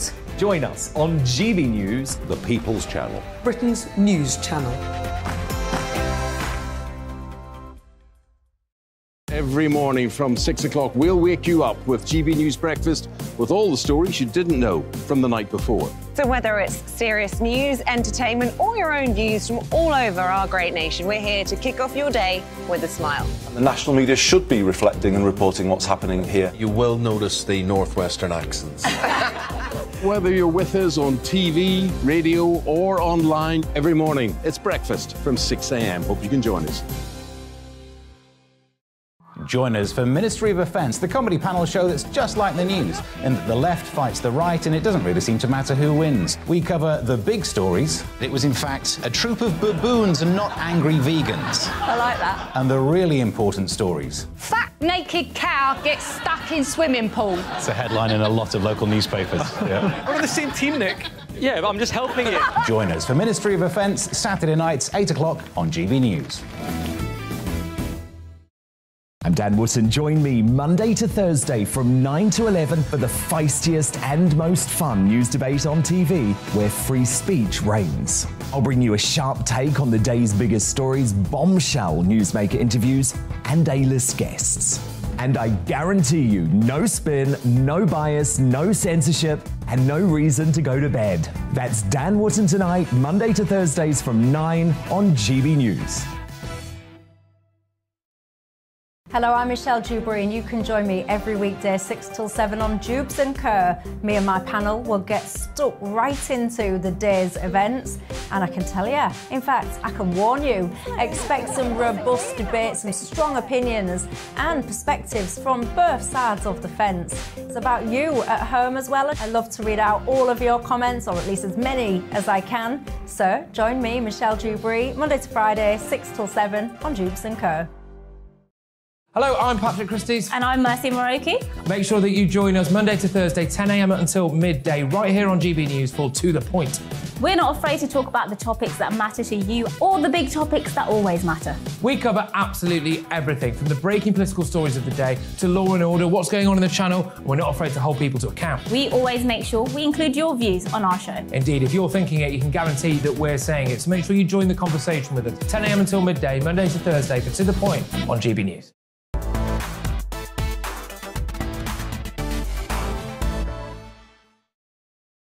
Welcome back to Real Britain with me, Darren Grimes. Now, folks, one of Scotland's most loved outdoor agricultural events finishes in Edinburgh today. The annual Royal Highland Show, which celebrates the best in farm and food and rural industry, is a four day event and marks its 200th anniversary. Joining me now live from the show is GB News Scotland reporter David Donaldson. David, what's the atmosphere like there today with it wrapping up? Is it still as jubilant as the nice weather yesterday? Moving on to our Clydesdale females. Well, I think it's absolutely fantastic, the atmosphere here, albeit it's the last day and we've got the parade ring behind us, we've had the cattle parade, we've now got the Clydesdales out on parade as well, and I have to say, having walked through the paddock earlier on and saw the size of them, oh my God, absolutely huge beasts and impressive, but yeah, it's been an absolutely phenomenal four days. Uh, the sun has shined most of it today, had a little bit of rain, but it's been absolutely great. We've seen the bull parade, we've seen livestock, we've seen cattle, we've seen show jumping, uh, lots of stalls. Um, really, absolutely been a brilliant time for everyone. Lots of families here as well. Uh, a hugely, a huge number of spectators. We've had 200,000 over the four days, so hugely impressive. And given it's the uh, 200th year of the Royal Highland Show, a lot of people wanted to come this year, especially after it being cancelled previous years, so during COVID. But yeah, it's been absolutely phenomenal. Great time here. Everyone having a really good time. Lots of trophies being handed out to the winners, and I'm sure the breeding rights that, that go with that. But yeah, this is this is a huge thing in Scotland, the Royal Highland Show. People coming from Wales and Ireland and England to compete here and hopefully uh, turn out their animals as best they can and, and, and get the certificates and the, and the trophies they're looking for. But it's not just that, as I say, it's much, much more than that. People come here to enjoy themselves, have a good time and relax. And I think, like we say, that uh, it's not been on over the last couple of years, then It's absolutely fantastic that it's on uh, this year and a couple of other things as well. I was down at the shearing championships earlier on, uh, which was phenomenal, I have to say, something I've never really seen close up, a sheep being sheared without electric shearers, just a hand shears and uh, shearing the, the fleece off the sheep. So something pretty impressive that.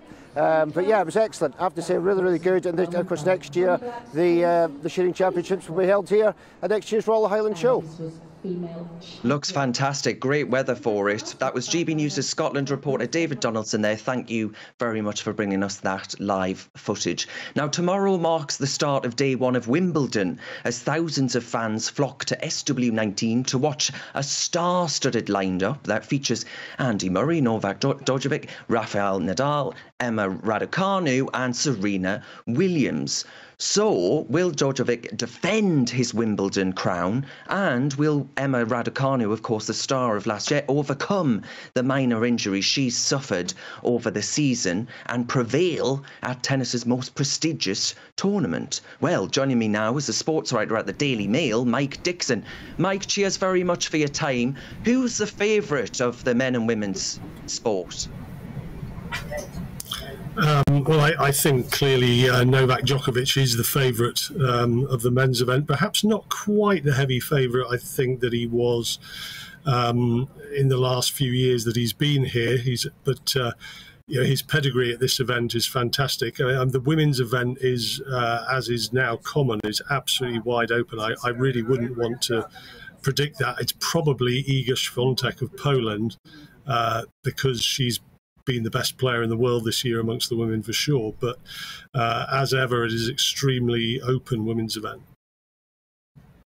Emma Raducanu, correct me if I'm wrong, but her performance over recent uh, events, over recent games, hasn't been what we sort of got used to, I think, when millions around the world, Mike, watched Raducanu win uh, last year. I think it was last year.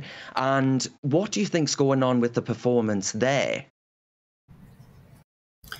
Uh, well, I think it's more the fact that the US Open was an outlier, really. Um, I mean, yeah. that was the exception rather than the rule. And perhaps what we're seeing now is more of representative of what her, her kind of true level is. Um, and obviously, she did something completely extraordinary in New York, and expectations have, have ramped up because of that. But she really did that way ahead of the time that was predicted for her and she missed out on a lot of the perhaps the building blocks of her career that her contemporaries have been through.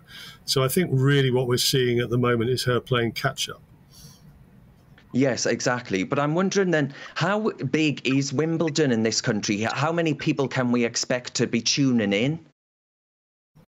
Um, well, I mean, TV wise, um, because it's on the biggest network, it, you know, it attracts many millions, and uh, one of the biggest sporting audiences uh, of the year is absolutely guaranteed. I mean, spectator-wise, um, thankfully we're back to pretty much normal Wimbledon um, in terms of the crowds um, for the first time since 2019, and there'll be uh, actually more than half a million people flocking here to see. I, I, must say, it warms my heart to see so many people turning out and actually getting back into packing out events like Wimbledon.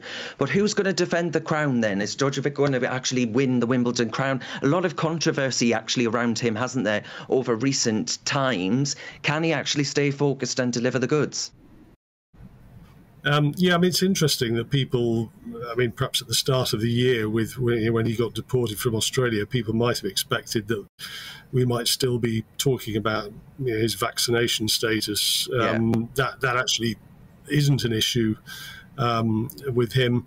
Uh, so, in pure tennis terms, he is, as I mentioned, clearly the favourite. I think. Uh, I think Andy Murray actually might do pretty well this year. I've heard he's been wow. uh, practicing extremely well, and um, he's obviously got a metal hip, which which doesn't help him. But he appears to be moving probably better than he's moved since his hip problems started in 2017, and I think he's uh, very much someone to look out for. Well, we shall see. We shall see. But Mike Dixon, there, the sports writer at the Daily Mail. Thank you very much for your insight on Wimbledon and all that is coming up. You're with GB News, folks, on telly and DAB radio. Next, we're going to be discussing the Rotherham grooming scandal and a worrying new police report. I'll be speaking to a whistleblower. Stay with us for that. But now, time for a check on the news headlines. Bethany Elsey.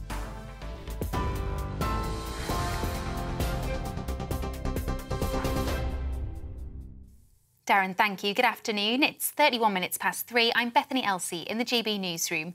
Boris Johnson is pushing for more support for Ukraine at the G7 summit in Germany. He says the ban on Russian gold will cut the financial supply to Vladimir Putin's war machine. The UK, US, France, Japan and Canada have all agreed to the ban. They're also discussing placing a price cap on Russian oil. The European Council President, Charles Michel, agrees, saying the G7 leaders share the same goal. With G7 countries, we all share the same goals to cut the oxygen from Russia's war machine while taking care of our economies and the economies of our partners. The EU will stand by the people of Ukraine for the long haul to defend its sovereignty and territorial integrity and to strongly defend our common democratic values. Missile strikes have hit the Ukrainian capital for the first time in weeks. Several people were trapped underneath fallen rubble and had to be pulled to safety after Russian forces hit homes near Kiev. At least six others were hurt. The city's mayor, Vitaly Klitschko, says medics are still looking for survivors. Boris Johnson has said he's planning to serve two more terms in office. That's despite the Conservative Party suffering two by election defeats this week. The Prime Minister said he's actively thinking about leading the country into the 2030s. Well, amid calls from within his own party to resign, he urged Tory MPs not to focus on the mistakes that he might have made. Families impacted by the COVID 19 pandemic may take legal action against the government over delays to starting the coronavirus public inquiry. The COVID 19 Bereaved Families for Justice group says the six month delay in appointing a chair and setting up dates goes beyond the reasonable time allowed by law. The Prime Minister previously said they agreed to do it in spring this year, but he hasn't set up a date yet on TV, online and DAB Plus radio. This is GB News. We'll get back to Darren in just a moment.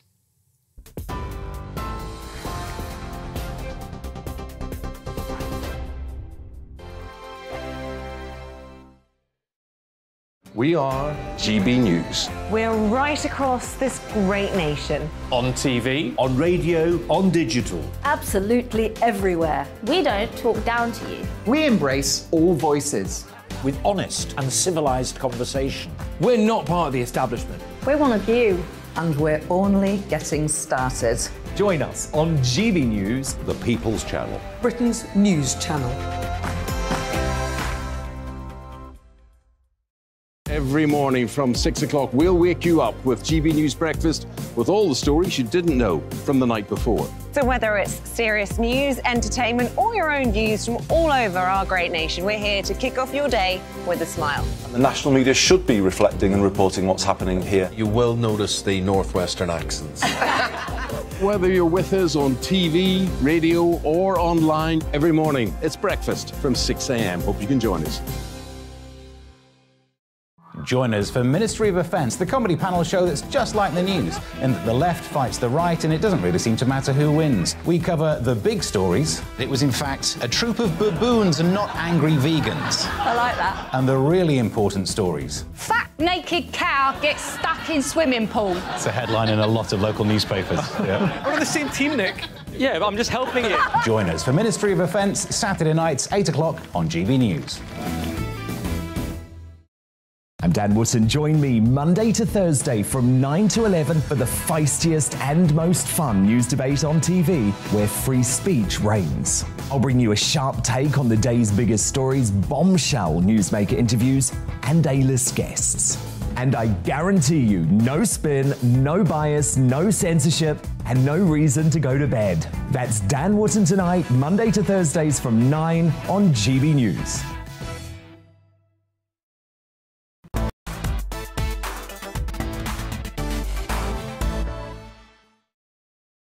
Welcome back to Real Britain with me, Darren Grimes. Now, folks, the police watchdog has concluded an eight year investigation into how South Yorkshire Police dealt with the abuse of more than 1,400 girls in Rotherham by grooming gangs. However, Sammy Woodhouse, a woman raped by one of the monsters as a teenager, has said she's disgusted by the failure of the report to hold any officers to account.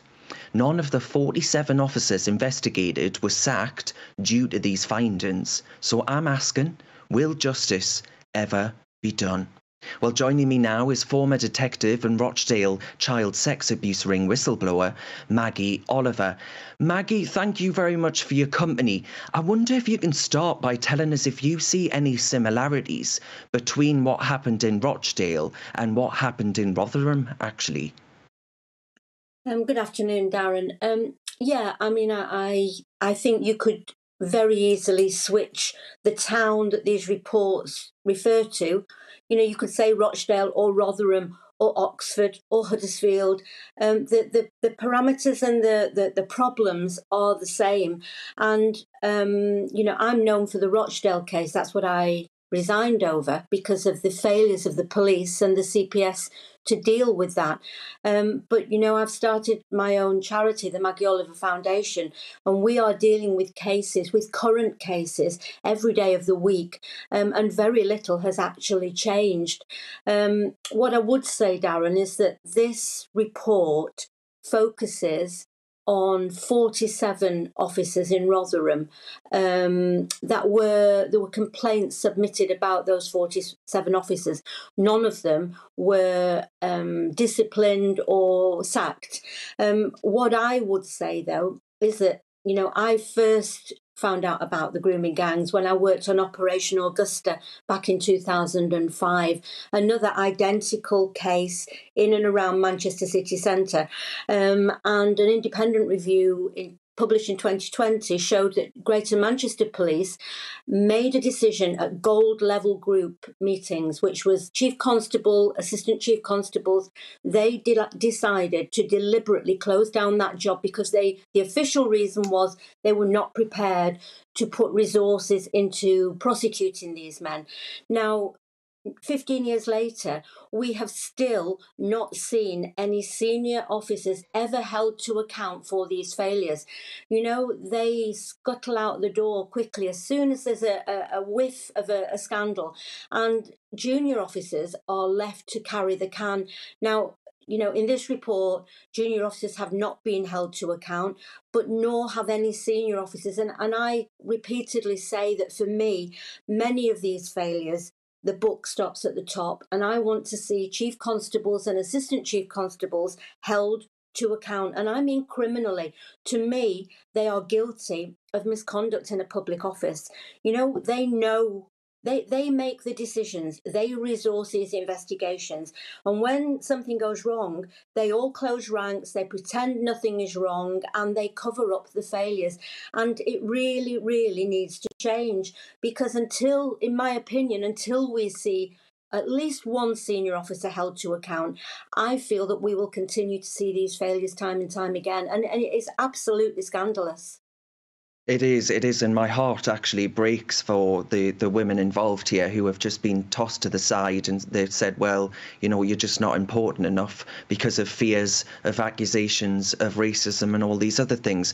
But Maggie, I'm wondering if the police, and you're a former copper, if the police have priorities, are those priorities more perhaps pandering to, to what we on this channel may describe as woke causes, right? It may be uh, protecting certain people over others. Do you think, actually, as far as the pecking order of priorities for British policing are concerned, white working class women, I'm afraid, are right at the bottom of the pile? I think that there is some truth in that, Darren. Um, but I would also say that victims are at the bottom of the pile time and time again. Uh, I mean, there was a, a, report this week in, in Ireland that victims of sexual abuse are having to wait up to five years to go to court. You know, that the whole system is failing. Um, I, I, know that you're referring to the, the racial aspects of these crimes because it, it is undoubted that the, the vast majority of the perpetrators in the group gang cases are Pakistani Muslim men, and the vast majority of the victims are young um, white girls from from uh, very difficult backgrounds. Um, I really would like to open up the the debate and question why that happens. You know, why do we repeatedly see that same pattern of behavior? Mm-hmm. And, you know, when I was a police officer, when I was a serving police officer, I dealt with um, incidents where women within that community were also being treated as second class citizens, being forced into arranged marriages. There, there is a real um, problem with how women are seen within those communities. So, whilst that dynamic is here in these cases, I think that the problems go far deeper than that.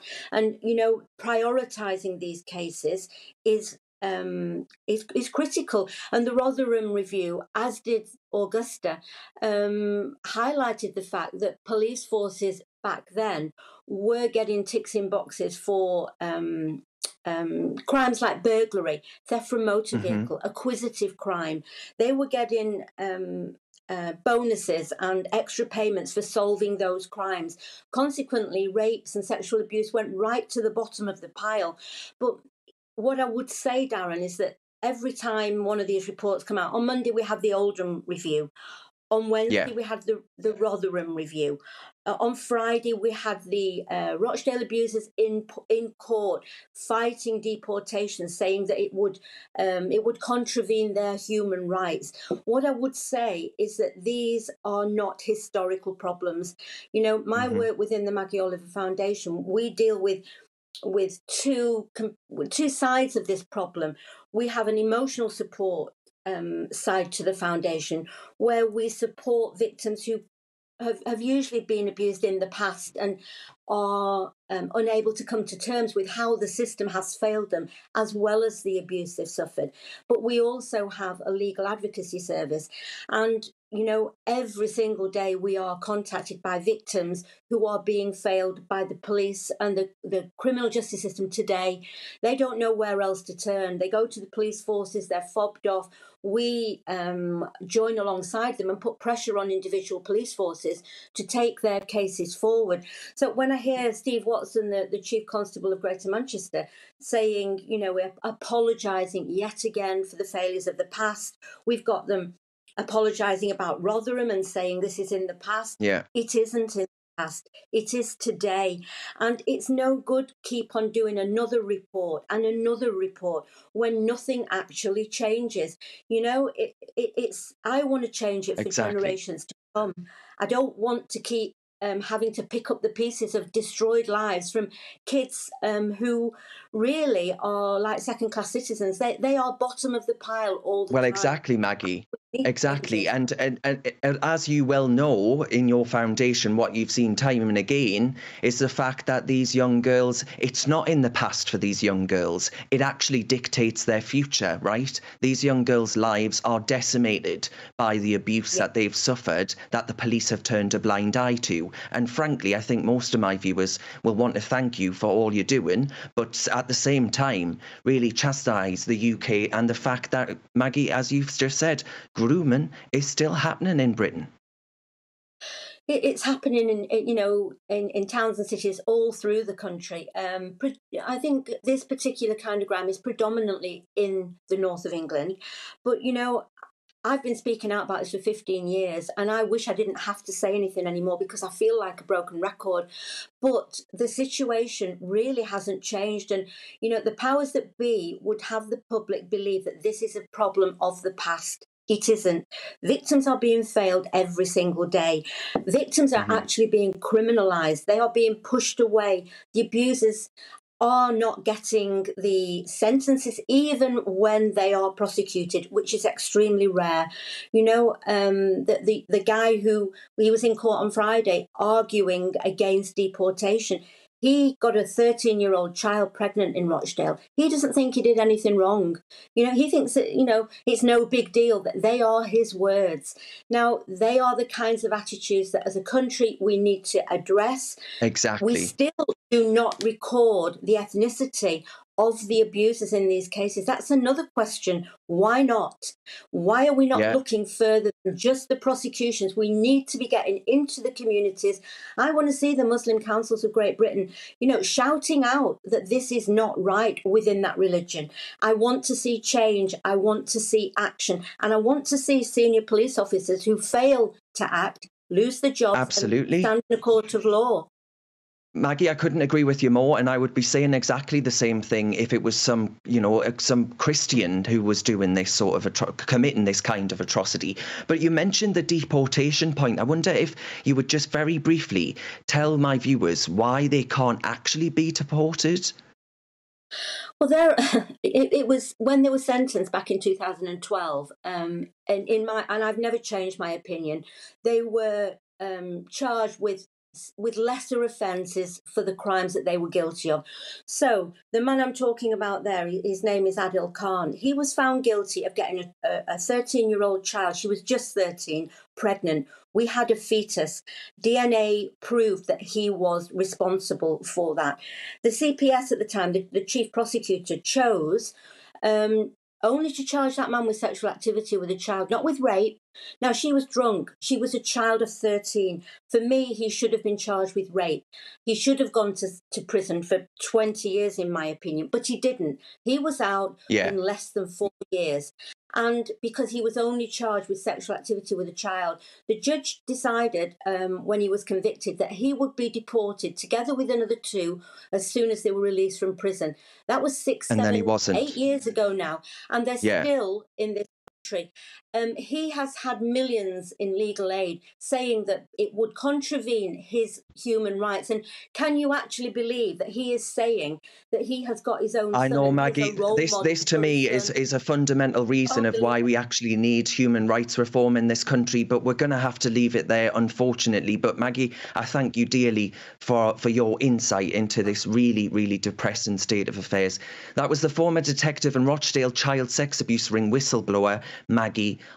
Oliver. Now, folks, it appears the NHS is suffering crisis after crisis. The list is ever growing. Dentists have warned that it'll take years to clear the COVID backlog of 43 million appointments that were missed due to the pandemic, according to the British Dental Association. We're also in the midst of the worst recruitment and retention crisis in NHS dentistry since the health service was created in 1948. With me, that was after a world war, let's not forget. With me now is dentist and member of the General Dental Practice Committee, Mark Green. Mark, I wonder if you can just tell my viewers have you any hope whatsoever of clearing this backlog? Well, the backlog I don't think is ever going to be cleared if we if we have the current contract that we have. Um, that's the reason we have the problem is the contract that was uh, issued in 2006, which has been deemed unfit for purpose since 2008, is still in position. So it's it's because of that contract and the lack of any uh, impetus to change that is we're in the situation we are as we are. Um, there's no more uh, dentists wanting to come into the NHS; they're all wanting to leave because of the, the conditions they're working under. Added to that, the, the COVID has just exacerbated the problem. Yeah, I mean, some people claim that this is down to a lack of investment, but it strikes me that we're pouring ever increasing sums into the system and actually outcomes aren't improving. So, what's going on in your view? It's it's the measurement of outcomes that they, they in this current contract, which is very it's oversimplified, but basically you can get paid the same for doing one filling or 20 fillings.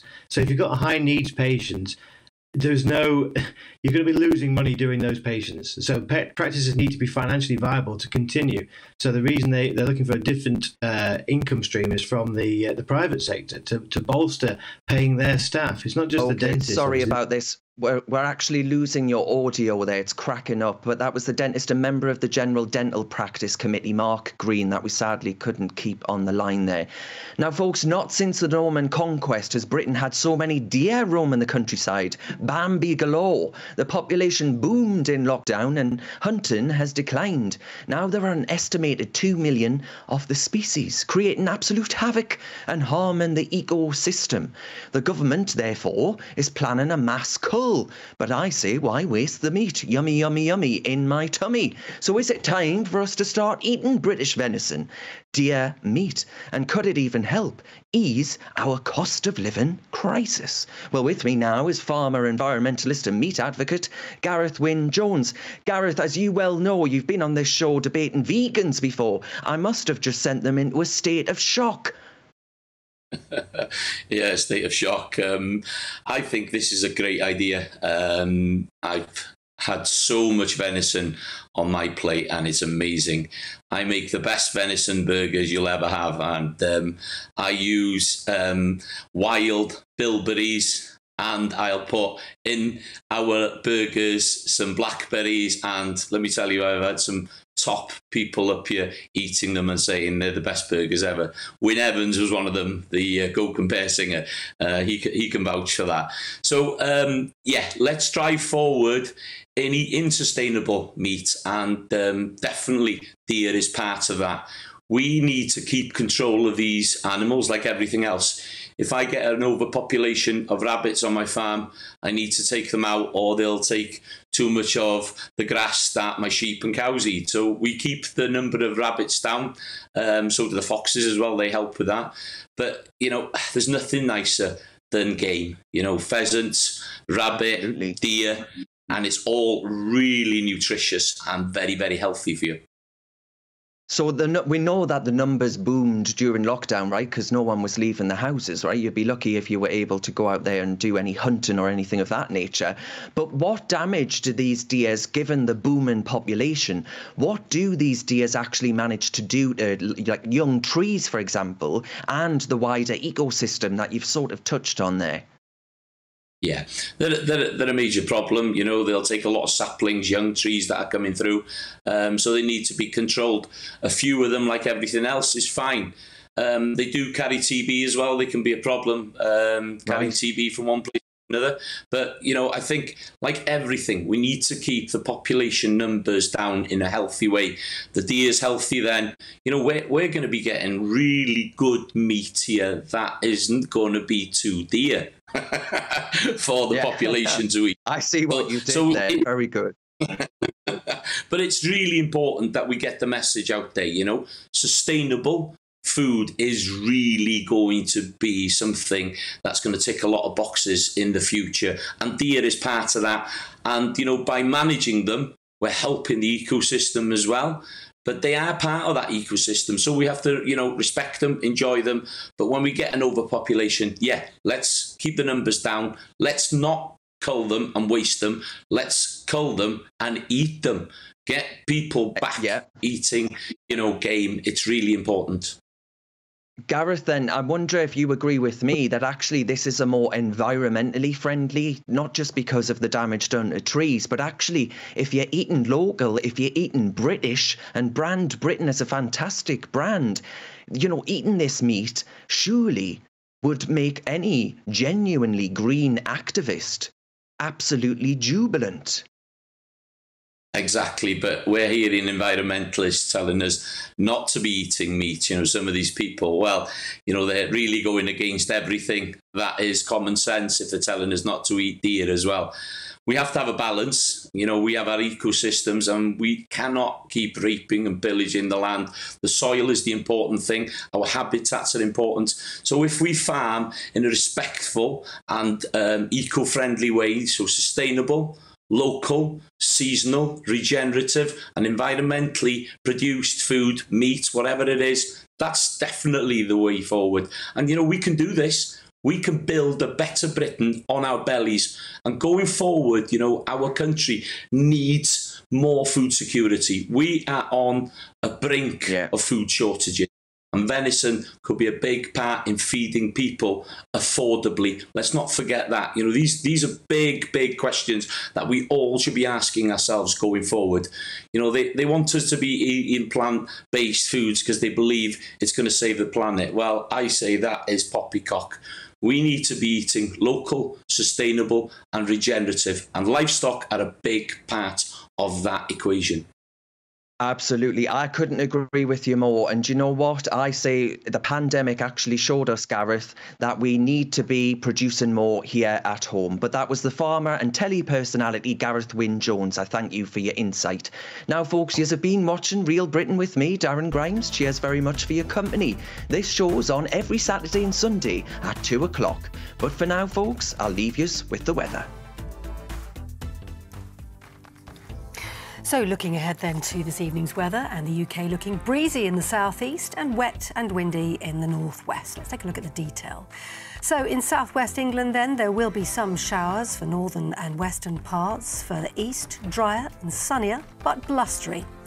In southeast England, plenty of sunshine this evening, very dry here with some high level cloud as well. Then looking at western parts of Wales, well, in this area, it's going to be fairly windy, especially around coastal areas with showers continuing here. Further east, it will be drier. The West Midlands looking mostly fine throughout the evening, but it will be breezy and there could be one or two showers here and there. And the weather fine and warm for the northeast of England as well. But it will be very breezy and there could be one or two showers here and there. The weather fairly fine and quite warm for the southwest of England. A few showers possible, but dry for most near the coast. And plenty of showers across Scotland, the heaviest in the west. Parts of the east should stay mostly dry and windy as well. A similar picture for Northern Ireland. Plenty of showers as we head through the evening, blustery winds as well. So showers continuing to spread from the north and west overnight, southwestern parts remaining fine, and that's how the weather's shaping up.